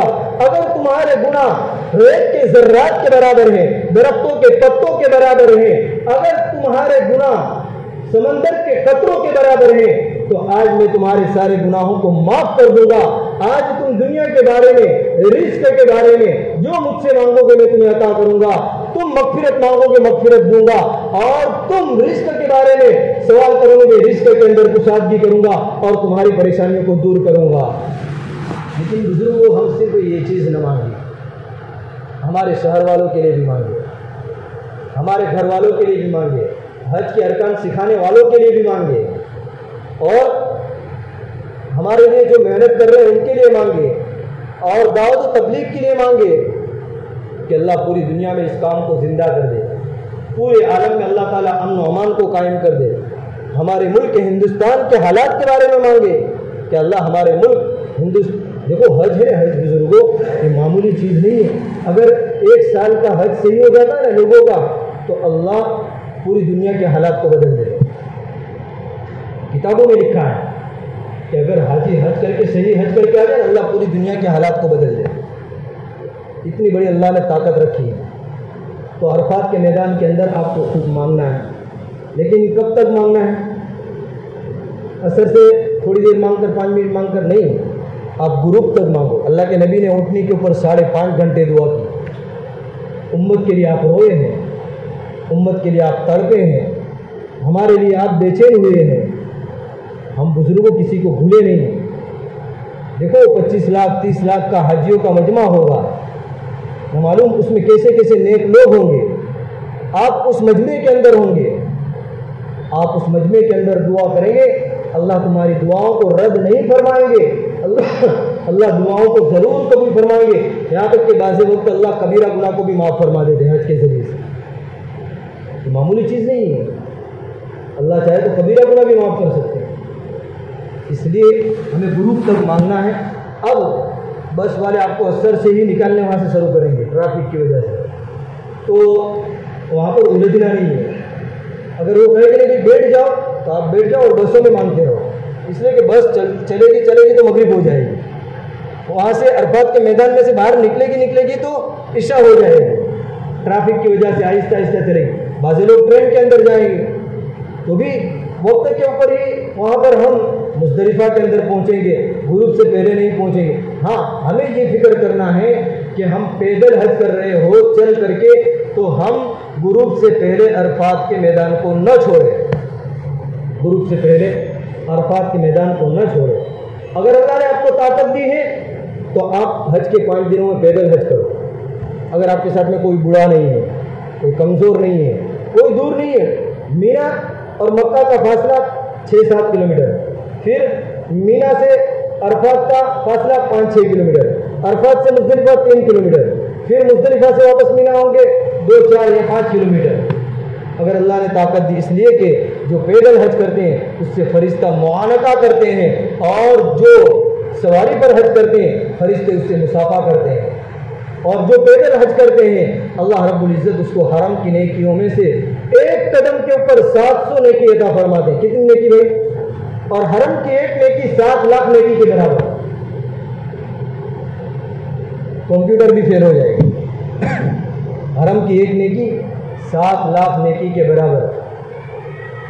हज़रत आदम अलैहिस्सलाम ने पैदल हज पचास किए हिंदुस्तान से। पैदल हज किए। ऐसे कितने अल्लाह वाले हैं? कितने लोग हैं जो पैदल हज करते हैं? लेकिन अल्लाह ताकत दे। देखो, एक बात ये भी जहन में रखिए कि हज के दिनों से पहले बाज़ मरतबा ये होता है कि नफल, उम्र और ज़्यारत, ये, वो, उसमें आदमी इतना अपने आप को थकाता है कि हज के दिनों के अंदर उसमें चुस्ती नहीं रहती। हज के दिनों के अंदर सुस्ती आ जाती है, चुस्ती नहीं रहती। इसलिए हज के चार पाँच दिन पहले तो अपने को पहलवान की तरीके से तैयार करना है। ऐसा नहीं कि नफल इबादतों में लगे लगे लगे, नफल तवाफों में लगे लगे थका दिया। अब हज के दिनों के अंदर फ़राइज और वाजिबातों के अंदर लाले पड़ गए। फिर आदमी कहे कि यार, हज तो बहुत मुश्किल है। हज तो बहुत मुश्किल है। हालाँकि अल्लाह ने आसान किया है तो आपको इस तरीके से दुआ करना है और अरफात में आपको मगरिब इशा नहीं पढ़ना है। चाहे रात को एक बजे जाए, रात को बारह बजे जाए, आपको मुजदलिफा के अंदर जाकर ही असर की नमाज़ और मगरिब की नमाज़ एक साथ के अंदर पढ़ना है और एक इकामत और एक अजान के साथ के अंदर आपको पढ़ना है। आप अपने काफिले में से एक को इमाम मुतन कर दीजिए, जिसको अच्छा कुरान याद हो और आप पीछे सब लगा लो, उसके पीछे मस्तूरात की सब लगा लो। अब मुजदलिफा के अंदर भी वज़ू खाने हैं, पानी का इंतज़ाम है आप मुजदलिफा के अंदर पहुँचोगे, या तो पानी का कैन आपके साथ में होगा तो अरफात के अंदर से ही वो पानी का कैन भर लो, ताकि मुजदलिफा के अंदर आपको पानी तलाश करना ना पड़े और उस पानी के कैन के ज़रिए से आप अपने वज़ू के अंदर इस्तेमाल कर सको। जो मैंने पहले कहा ना कि अपने सामान में पाँच लीटर का कैन ले लो इसीलिए मैंने कहा है कि ये कैन मुजदलिफा में काम लगता है। अरफात में इस तरीके से सारा, यानी कि इंतज़ाम होता है और मुजदलिफा में भी इंतज़ाम होता है, लेकिन अरफात और मीना के तरीके से इंतज़ाम नहीं होता है। अरफात और मीना की तरीके इसलिए आप वज़ू कर लो और एक इकामत और एक अजान के साथ में नमाज़ पढ़ेंगे। अब इसमें इस तरीके से नमाज़ पढ़ेंगे, पहले मगरिब के तीन फ़र्ज़ पढ़ेंगे। उसके बाद ईशा के चार फ़र्ज़ पढ़ेंगे इमाम के साथ में। उसके बाद में मगरिब की सुन्नत नफल पढ़ेंगे और उसके बाद के अंदर ईशा की सुन्नत बितर निफल वगैरह पढ़ेंगे। समझ में आया भाई? अब आप बहुत थके हुए होंगे वहाँ पर। आप बहुत थके होंगे, लेकिन घबराए नहीं। अब दो दिन में आपका हज पूरा हो जाएगा। अब वहाँ पर आपको अल्लाह से रो रो करके दुआ करना है और हो सके तो तहजद पढ़ना है। इसलिए कि मुजदलिफा मुजदलिफा की रात ऐसी है कि ये लतुल कद्र के बराबर है। यहाँ पर तो हमें लतुल कद्र को ताक रातों में तलाश करना पड़ता है। लेकिन ये तो पक्की बात है कि मुजदलिफा की रात ये लतुल कद्र के बराबर अजर स्वाब रखती है। हम यहाँ पर कितनी मेहनत करते हैं। तो वहाँ पर एक रात अगर थोड़ा और थक लेंगे और जाग लेंगे मुजाहदा कर लेंगे तहजद पढ़ लेंगे, दुआ कर लेंगे तो फिर तो हम, यानी कि हज पूरा हो जाएगा तो हमारा, हमको आराम मिल जाएगी, राहत मिल जाएगी।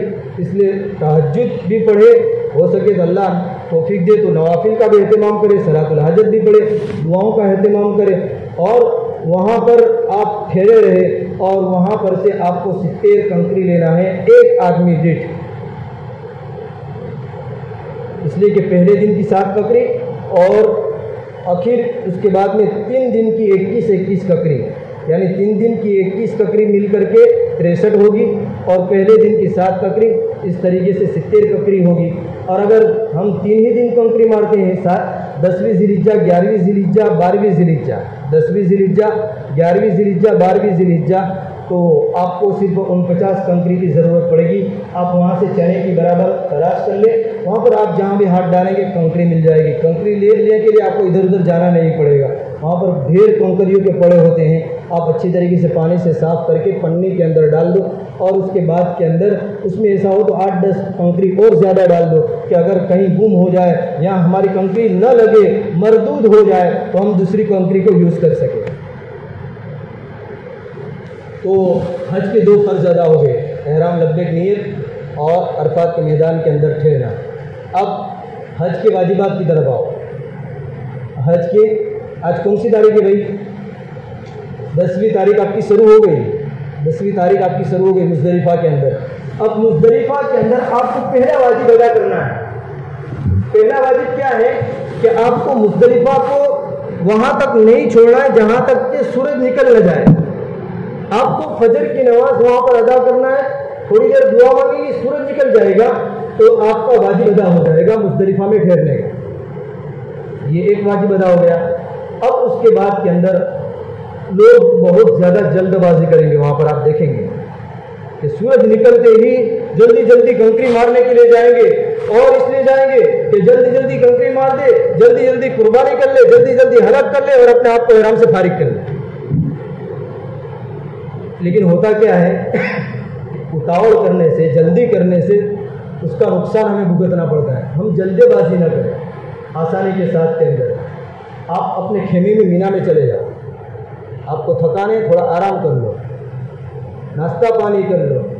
उसके बाद के अंदर आप कंकड़ी मारने के लिए जाओ।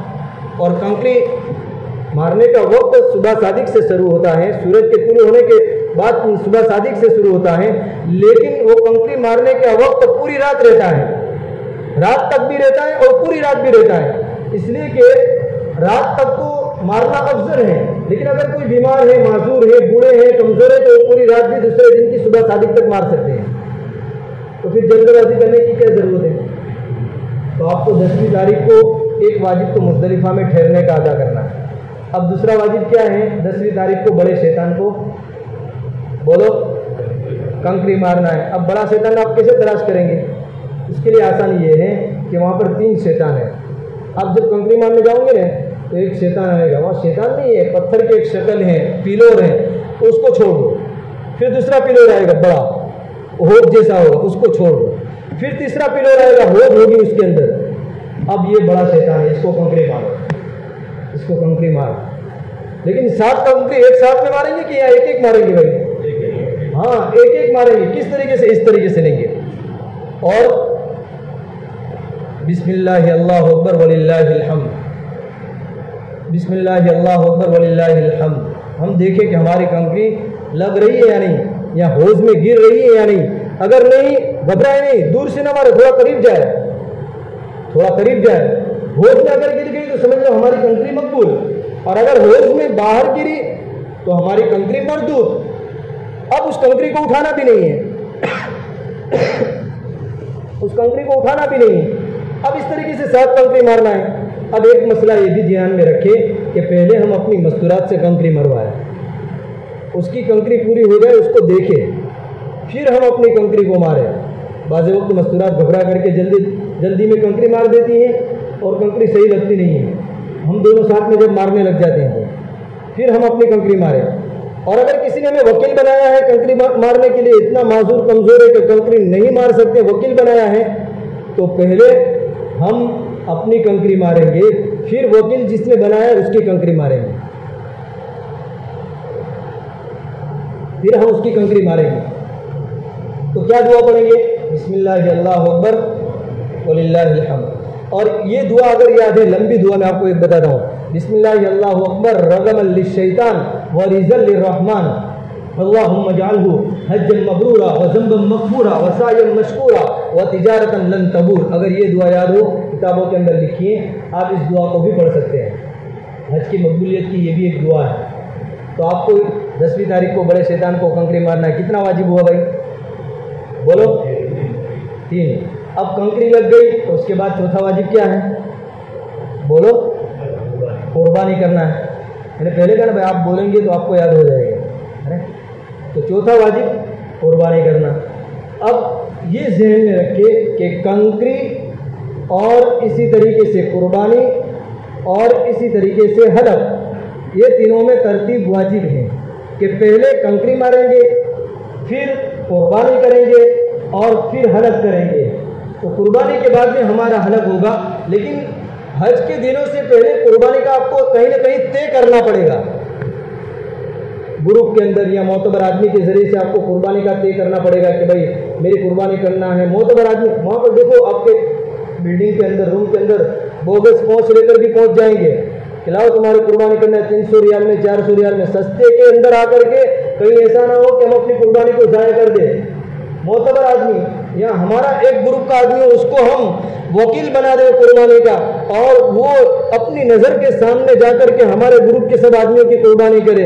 और वहाँ पर जो मजबा है, मीना के अंदर कुर्बानी गाह है, वहाँ पर जाकर के सबकी कुर्बानी कराए। अगर ये हो सके तो ये करे। या मोतबर आदमी से कुर्बानी कराए। वरना इधर उधर जान छुड़ाने के लिए वहाँ पर इस्लामी बेग भी है। वहाँ पर इस्लामी बेग में क्या होता है कि वहाँ पर आपको रसीद दी जाती है और कुर्बानी के रियाल लिए जाते हैं और उसमें वक्त लिख दिया जाता है। लेकिन उससे बेहतर ये कि आप अपने ग्रुप के अंदर मोतबर आदमी से कराएँ। इसलिए कि वो जो आपको वक्त देते हैं, वो कोई मोतबर वक्त नहीं हो सकता है। वक्त से पहले आप एहराम से बाहर आ जाएँगे और कुर्बानी बाद में होगी तो भी आपके लिए मसला खड़ा होगा और दम लागू पड़ेगा। वहाँ पर आपको इस्लामी बेग भी मिलेगी कुर्बानी के लिए। लेकिन बेहतर ये है कि आप अपने ग्रुप के अंदर मोतबर आदमी से अपनी कुर्बानी कराएँ। तो हज के कितने वाजिब हुए भाई? मुजदलिफा में ठहरना कंक्रीट मारना और कुर्बानी करना, हलक करना, चार वाजिब अदा हो गए। अब आपके भी कंकरी बाकी हैं। आपका एहराम कब निकलेगा? बोलो, हलक के बाद। और आपका लब्बे कब बद होगा? बोलो भाई, बड़े शैतान को कंकरी मारेंगे तो? आपका लब्बे कब बंद? हाँ। अब आप अपने कपड़े में आ गए। हलक के बाद के अंदर मर्द फारिग हो गया तो फिर अपनी औरत की बाल की चोटी में से एक इंच के बाल को खुद काट सकता है। और बेहतर यही है, खुद ही काटे। फिर अपना हलक कराए। या अपना हलक करा उसके बाद के अंदर चोटी में से बाल को काटें। इस तरीके से भी कर सकते हैं। तो अपना हलक होने के बाद, अपना, देखो ये थोड़ी मेरी गलती हो गई, कि अपना हलक होने के बाद के अंदर औरत के बाल को काटेंगे, अपने हलक से पहले नहीं काटेंगे। समझ में आया भाई बात? और इसी तरीके से अब दो वाजिब बाकी हो गए। मैंने पहले कहा ना भाई, हज का मामला ऐसा है कि बयान करने वाला भी कभी इसमें झोंका खा जाता है। दो वाजिब ऐसे हैं कि इसके अंदर एक तवाफ़ विदा और उसके अंदर एक है हज की सही और एक है तवाफ़ी ज़्यारत। तीन काम बाकी हैं आपके। कितने काम बाकी हैं? दो फ़र्ज़ तो आपके पहले अदा हो गए। अब चार वाजिब आपके अदा हो गए। अब तवाफ़ी ज़्यारत का जो वक्त है, वो दसवीं तारीख की सुबह शादी के लिए फजर से लेकर के बारहवीं तारीख की गुरूब तक, बारहवीं तारीख के मगरिब तक ये तवाफ़ ज़्यारत का वक्त है, मर्दों के लिए भी, औरतों के लिए भी। तवाफ़ ज़्यारत यानी हज का तवाफ़ आप वहाँ पर जाकर के करेंगे। अगर आपकी कुर्बानी नहीं हुई तो आपको हालत हराम में तवाफ़ ज़्यारत करना पड़ेगा। अगर आपकी कुर्बानी हो गई तो आप अपने कपड़े में जाकर के तवाफ़ी ज़्यारत करेंगे। अब तवाफ़ी ज़्यारत करने के लिए जाएँगे तो तवाफ़ी ज़्यारत के वक्त हम इस बात का ख्याल रखेंगे कि तवाफ़ी ज़्यारत के वक्त हमारी औरत पाकी की हालत में हो।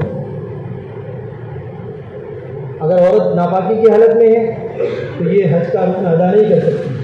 हज का ये तवाफ़ इशारत जैसे उम्र का तवाफ़ का मैंने मना किया तो ये हज का तवाफ़ भी अदा नहीं कर सकती। अब औरत जब तक फारिग नहीं होगी, वहाँ तक उसके लिए ये वक्त दिया गया है, चाहे बारहवीं जिलिज्जा पूरी हो जाए, तेरहवीं जिलिज्जा हो जाए, या फिर उसके बाद के अंदर, जब भी वो पाक होगी, उसके बाद के अंदर ही वो तवाफ़ ज़्यारत करेगी। समझ में आएगा तो तवाफ़ ज़्यारत, हज का तवाफ़ करेंगे और ये हज का अजीम रुकन है। जब तक आदमी तवाफ़ ज़्यारत नहीं करेगा और मस्कुरात तवाफ़ ज़्यारत नहीं करेंगे तो मियाँ बीवी आपस में एक दूसरे के लिए हलाल नहीं होंगे। अगर कोई आदमी बगैर तवाफ़ ज़्यारत के हिंदुस्तान आ गया, फिर भी वो मियाँ बीवी दोनों के लिए हराम रहेंगे। उसको वापस जाना पड़ेगा हज के दिनों के अंदर। और फिर वापस हज के दिनों के अंदर तवाफ़ ज़्यारत करना पड़ेगा। इसलिए तवाफ़ ज़्यारत हमारा भी ना छूटे, हमारी मस्तूरात का भी ना छूटे। मर्दों के लिए दसवीं तारीख से लेकर के बारहवीं तारीख तक। औरतों के लिए भी यही वक्त है, लेकिन नापाकी की हालत के अंदर उसके लिए ताखिर करने की, देर करने की गुंजाइश है, इजाज़त है, कोई हरज की बात नहीं है। तो ये हज का तीसरा फ़र्ज़ भी अदा हो गया। अब आप अपने साथ में सात दाने की तस्वीर भी रखें। तवाफ़ के अंदर आपको काम लगेंगे। और इसी तरीके से हज की सही है, वो वाजिब है। हज का पांचवा वाजिब। तो ये तवाफ़ी ज़्यारत के बाद कर लो। तवाफ़ी ज़्यारत के बाद के अंदर तो ये तवाफ ज़्यारत के बाद हज की सही, ये पांचवा वाजिब बदा हो जाएगा। और आपकी ये तेरह दिन की कंकरियाँ हैं, जो बाकी हैं, उसको मारना है कंकरियों को तो तीनों दिन तीनों शैतानों को कंकरियाँ मारना है। पहले छोटे को, फिर बिछले को, फिर आखिर में बड़े को। ग्यारहवीं तारीख को भी, बारहवीं तारीख को भी। अब अगर आप बारहवीं तारीख की मगरिब वहाँ हो गई, रात हो गई तो आप वहीं पर ठहर जाओ। बेहतर ये है कि आप तेरहवीं तारीख की भी कंकड़ी मार करके जाओ। तीनों दिन की इक्कीस इक्कीस कंकड़ी हो गई और पहले दिन की सात कंकड़ी हो गई। तिरसठ तीन दिन की कंकड़ियाँ हो गई और उसके बाद के अंदर सात कंकड़ी मिलकर के सितर कंकड़ियाँ हो गई। अब दूसरी, ये दसवीं जिलिज्जा की कंकड़ी मारने का जो वक्त है, दसवीं जिलिज्जा की कंकड़ी मारने का वक्त ये जवान से शुरू होता है, रात तक रहता है। और ग्यारहवीं और बारहवीं और तेरहवीं तारीख की जिलिज्जा की जो कंकरियाँ हैं, उसका वक्त जो शुरू होता है, वो वो वक्त जो शुरू होता है सुबह सादिक से लेकर के, सुबह सादिक से जवाल से लेकर के जवाल से लेकर के दूसरे दिन की सुबह सादिक तक। ये तीनों दिन की कंकड़ी मारने का वक्त जवाल से लेकर के दूसरे दिन की सुबह सादिक तक आप तीनों दिन कंकरियाँ मारेंगे। तो भाई हज का काम पूरा हो गया कि नहीं? आसान है कि मुश्किल है? अगर इस तरीके से आप जहन में बिठा लेंगे, तीन फ़र्ज़। हाँ तवा भी विदा तो क्या है कि वो आप मक्का छोड़ेंगे उस वक्त अदा करेंगे, तब भी तवा पे विदा हो जाएगा। लेकिन ये चीज़ें हज के दिनों के अंदर आपको करना है। तवा पे विदा, ये हज का छठा वाजिब है। ये मक्का से आप जब मदीना रुखसत होंगे और मदीना से फिर वापस आप मक्का नहीं लौटेंगे, उस वक्त आपको तवाफ़ विदा करना है, अलविदाई तवाफ़। और उसके लिए अगर आप कोई नफल तवाफ़ करते हैं अपने कपड़े के अंदर, और अगर आपने नफल तवाफ़ के अंदर भी तवाफ़ विदा की नीयत कर ली तो ये तवाफ़ विदा आपका अदा हो जाएगा। और बुज़ुर्ग और दोस्तों, वहाँ पर हम एक दूसरे का हज सही कराने की फ़िक्र करें। वहाँ पर हम एक दूसरे की खिदमत करें। और जैसे मैंने पहले बतलाया ने कि ये ऐसी मुकदस जगह है कि वहाँ पर नबियों के कदम पड़े हैं। और आप जो शैतान को कंकड़ी मारने के लिए जाएँगे, वहाँ पर मस्जिद खैब है। मस्जिद मीना है, वहाँ पर कितने अम्बिया सलाम दफन है? मस्जिद खैफ के अंदर कितने अम्बिया सलाम वहाँ पर दफन है? और ये अरफात का मैदान भी मुतबर्रक, मुजदलिफा का मैदान भी मुतबर्रक, मीना का मुकाम भी मुतबर्रक। हर जगह के ऊपर आप दीन के काम को, दावत के काम को मुकदम रखें और आप वहाँ पर ये काम करते रहेंगे, आपको आलमी दावत का अदर सवाब मिलेगा। आपको दुनिया की सारी चीज़ें सारी जगहों के ऊपर मिल जाएगी, लेकिन आपको तवाफ कहीं नहीं मिलेगा, आपको मीना कहीं नहीं मिलेगा मुजदरिफा कहीं नहीं मिलेगा, आपको हजर असवद कहीं नहीं मिलेगा, जन्नत का पत्थर नहीं मिलेगा मकाम इब्राहिम आपको नहीं मिलेगा, आपको शैतान को कंकरी मारने की जगह नहीं मिलेगी, मस्जिद नमरा, जहाँ पर हज का खुतबा होता है, वो नहीं मिलेगी। वहाँ पर जो इस्माइल और हज़रत इब्राहिम सलाम ने कुर्बानी दी है, वो कुर्बानी गाह और कुर्बानी की जगह आपको कहीं पर नहीं मिलेगी। इसलिए हम हज के दिनों की भी कदर करें और इसके साथ के अंदर मदीना मुनवरा का सफ़र है, बड़ा मुतबर्रक सफ़र है। इसमें तो मुझे असल मदीना की ही बात करनी थी, उम्र और हज की तो आपके सामने बात आ गई थी। लेकिन साथियों ने बतलाया कि भाई, हज और उम्र वापस दोहरा दिया जाए, इसलिए मैंने बतला दिया। वरना मदीना की बात करने में दो घंटे लगेंगे मदीना की सिर्फ़ बात करेंगे तो दो घंटे मदीना की बात होगी कि मदीना में क्या करना है। सिर्फ़ मदीना को हम क्या समझते क्या समझते हैं कि एक नफल जियारत है। हालाँकि मदीना मुनवरा और जहाँ पर हमारे आका ताजदार मदीना, हबीब किबरिया हज़रत मोहम्मद मुस्तफ़ा सल्लल्लाहु अलैहि वसल्लम, जहाँ पर जिस जगह के ऊपर आराम फरमा रहे ये वो मुतबर्रक जगह है जो काबतुल्ला से अफजल, बैत मामूर, जो फरिश्तों का किबला है, जहाँ पर हर वक्त फरिश्ते सजदे करते हैं, जो आसमानों के ऊपर है, उस जगह से भी वो जगह अफजल, यहाँ तक के अल्लाह का अर्श है, उससे भी अफजल जगह वो है, जिस जगह पर हमारा नबी सलाम दफन है। और उससे भी कुर्सी जो अल्लाह की है, उससे भी अफजल जगह वो है, जिस जगह पर हमारे आका सलाम दफन है।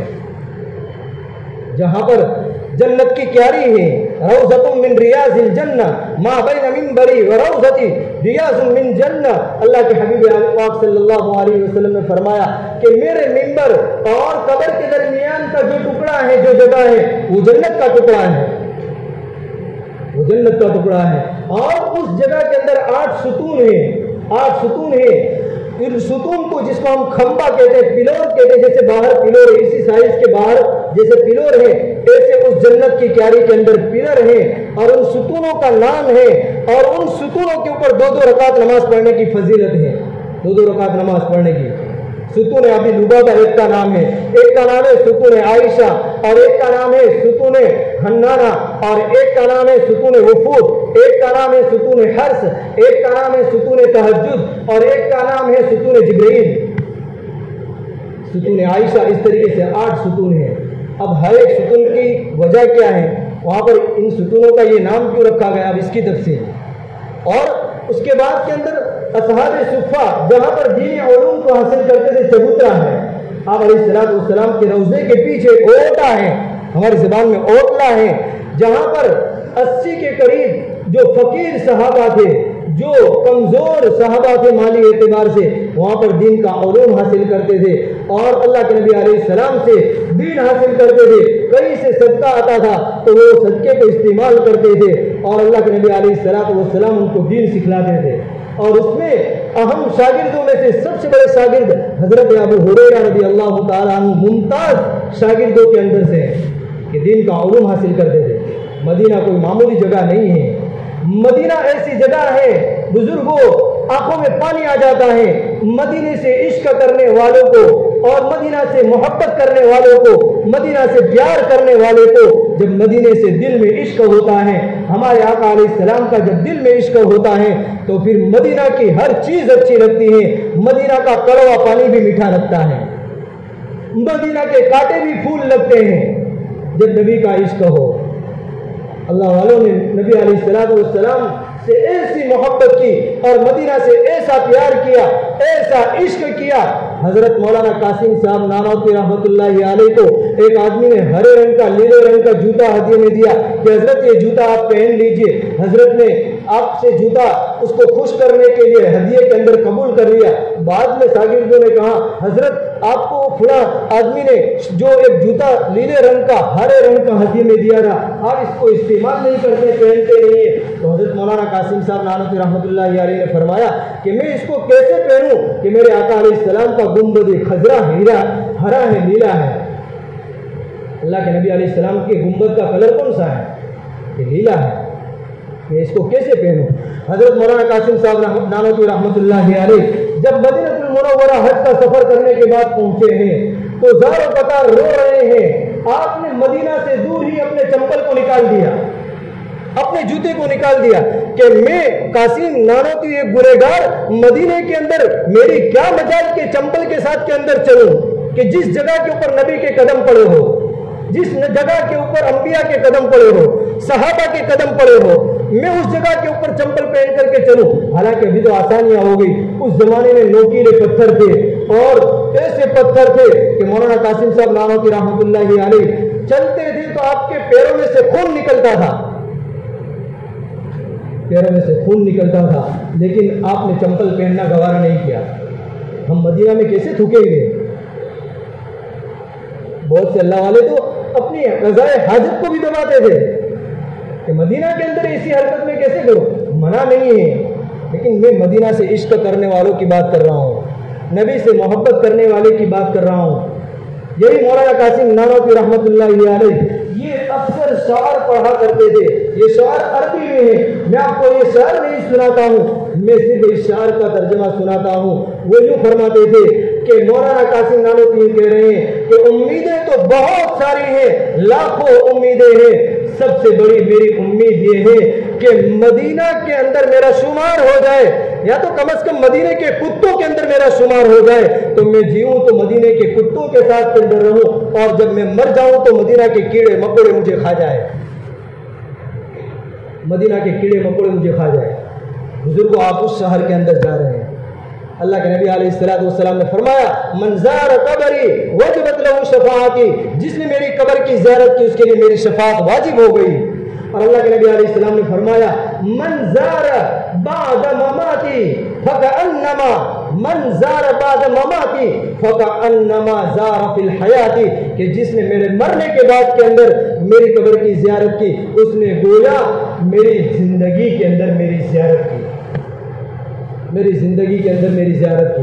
हम अल्लाह के नबी सलाम की कब्र मुबारक के ऊपर जाएँगे, सलाम अर्ज़ करेंगे या रसूल अल्लाह उसके बाद में हज़रत अबू बकर को बकर सिद्दीक। उसके बाद में हज़रत उमर फारूक को सिर्फ़ दो कदम चलेंगे हज़रत अबू बकर। उसके बाद दो कदम चलेंगे हज़रत उमर। उमर फारूक रज़ी अल्लाह इस तरीके से सलाम अर्ज़ करेंगे। और बुजुर्गो, मदीना का मैं आपको क्या तस्करा करूँ? वहाँ पर क्या कमालत मैं आपको बयान करूँ? मदीने की मोहब्बत को अपने दिलों में बिठा लो। अल्लाह के नबी की मोहब्बत को अपने दिलों में बिठा लो। इश्क को बिठा लो। अगर इश्क दिल में बैठ जाएगा ना तो आपको मदीना की हर चीज़ के अंदर मज़ा आएगा। अल्लाह के नबी सलाम ने मदीना वालों के लिए दुआ की है। मदीना के लोगों को हम बुरा ना कहे। मदीना की चीज़ों को हम बुरा ना कहे। मदीना की चीज़ों के अंदर हम एक न लगाए कि यहाँ पर ऐसी चीज़ें या वहाँ के व्यापारी को हम, अगर हमको भाव ताल में अच्छा नहीं लग रहा है उसको पूरा भला ना कहे। अल्लाह के नबी सलाम ने मना फरमाया है। और वहाँ कोई खाने की चीज़ें अच्छी नहीं लग रही है तो उसके अंदर भी नुक्स ना लगाए। अल्लाह के नबी ने फरमाया कि एक आदमी ने इस तरीके से कहा तो क्या उसको ख्वाब में कहा गया कि अगर हमारी ये चीज़ अच्छी नहीं लगी, नहीं लगती तो आप मदीना से निकल जाओ। हमारे शहर से निकल जाओ। मदीने की हर गली में अल्लाह के नबी इस्लाम फरमा दिए अल्लाह ने फरिश्तों को मुकर, कर रखा है। कि जो ताउन और दज्जाल को मदीना में दाखिल नहीं होने देंगे। दज्जाल को और ताउन बीमारी को मदीने के अंदर दाखिल नहीं होने देंगे। मदीना की आबो हवा के अंदर भी शिफा है। मदीना की आबो हवा के अल्लाह के नबी इस्लाम जब मदीना से बाहर जाते और जब वापस तशरीफ़ लाते, भाई थोड़ा वक्त ज़्यादा हुआ कोई है नहीं है अल्लाह के नबी सलाम मदीना से बाहर जाते और जब वापस मदीना में तशरीफ़ लाते, आप अपनी चदर को चेहरे से हटा देते और आप गर्द गुबार होते, आप धूल को साफ़ नहीं करते, बल्कि यूँ कहते कि मदीना की धूल के अंदर, मदीना की मट्टी के अंदर भी शिफा है। मदीना की मट्टी के अंदर भी शिफा है। आज लोग वहाँ पर जाकर के खा के शिफा को तलाश करते हैं। ये ज़रूरी नहीं कि उसकी खा के शिफा की जगह अलग हो। मदीना की हर मट्टी के अंदर शिफा है। मदीना की हर जगह के अंदर। हज़रत मौलाना रशीद अहमद साहब गंगोई अलैह। एक आदमी हज करके आया।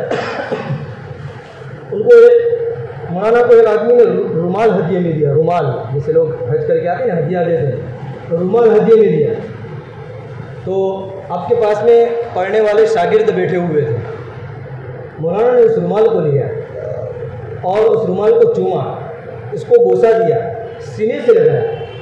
तो शागिर्दों ने कहा, हज़रत, आपने ये रुमाल को इतनी सारी इज़्ज़त दी, इतना सारा मकाम दिया कि ये रुमाल यहाँ मदीना में थोड़ा बना है। ये रुमाल तो कहीं और मुल्क के अंदर बना है, और देश के अंदर बना है, वहाँ से बंद करके यहाँ पर बेचने के लिए आया है। मौलाना रशीद अहमद साहब गंगोई रहमत ने फरमाया, मुझे भी मालूम है कि ये दूसरी जगह बन करके आया है, लेकिन मैं इसको इसलिए चुनता हूँ, मकाम देता हूँ कि इसमें मदीना की हवा लगी क्या लगी है? मदीना की हवा लगी है। एक आदमी ने खजूर हदिये में दी। मौलाना रशीद अहमद साहब गंगोई रहमत एक खजूर सिर्फ़ हदिये में दी। और शागिर्द बहुत सारे बैठे हुए थे। हाथ की हथेली में यूँ आपने खजूर ली। और खजूर को लेकर के आपने अपने खादिम को बुलाया इसके जितने आदमी यहाँ पर बैठे हुए हैं, उतने टुकड़े करो। एक खजूर तो टेंशन में आ गया कि एक खजूर और इतने सारे टुकड़े कैसे होंगे मौलाना से कहने लगा तो मौलाना इतने सारे टुकड़े कैसे होंगे? तो कैसे तकसीम करेंगे? मौलाना गुस्से हो गए। मैंने तुझे कहा ना, आप इसको तकसीम करो। इसको तकसीम करके मेरे पास ले आओ। फिर आपने हर शागिर्द को एक टुकड़ा दिया, एक एक, और उस शागिर्द से आप कितनी मुद्दत तक बोले रहे उससे नाराज़ हो गए कि आपने मदीना एक खजूर को मामूली समझा। मदीना की एक खजूर को आपने मामूली समझा। इतनी मुद्दत तक आप अपने उस शागिर्द से बोले नहीं खादिम से जिसने कहा कि आप एक खजूर के इतने टुकड़े करते हैं, आप उससे बोले नहीं। तो ये जगह है बुज़ुर्ग, दोस्तों, मदीना की अजमत मोहब्बत हमारे दिल के अंदर हो। और रियाजुल जन्नत जन्नत की क्यारी है। वहाँ पर आप दो रकात नमाज़ पढ़े और इसी तरीके से वहाँ की मुतबर ज़ियारत है उसके मुतालिक भी इंशाल्लाह बाद में बातें आएगी। अल्लाह से हम दुआ करें कि अल्लाह ताला हमारे हज को हज मबरूर और मकबूल बनाए और मदीना की ज़्यारत को भी अल्लाह ताला कबूल फरमाए। और असल हम नीयत बनाए कि इन हम जो यहाँ सीख करके जाते हैं इन लोगों को सिखाएँगे। करेंगे इन और नीयत करें कि इन इसको सीखने के लिए जमात में भी जाएँगे। बार बार हम छः लाख रुपये खर्च करते हैं, पाँच लाख रुपये खर्च करते हैं तो हम तीन दिन नहीं लगा सकते, हम दस दिन नहीं लगा सकते, हम जोड़ के अंदर शरीक नहीं हो सकते। एक आदमी कुर्बानी का बकरा लेता है, पंद्रह हज़ार का, बीस हज़ार का तो उसके अंदर भी देखता है कि कोई एक तो नहीं है है ना? लोगों से पूछता है ओलमा से पूछता है कि ये एक का बकरा चलेगा नहीं। हम इतना बड़ा हज करें और एक वाला हज करें। इतना बड़ा हज करें और एक वाला हज करें। तो ये थोड़ी अकलमंदी की बात है। अब उसके सीखने के लिए कारोबार को थोड़ा आगे पीछे करो। ये ज़िंदगी में एक मौका आया है। खेती को थोड़ा आगे पीछे करो। दुकान को थोड़ा आगे पीछे करो। और अगर एकदम ज़रूरी काम है तो उसको थोड़ा आगे पीछे करो। सीखने का मौका है। तो कल भी इन जमातें बनेगी, मस्तूरात की, मर्दों की। तो इसके लिए बैठे बैठे हुए जो साथी हैं, वो नियत करें कि इन हम तीन दिन के अंदर तैयार हैं।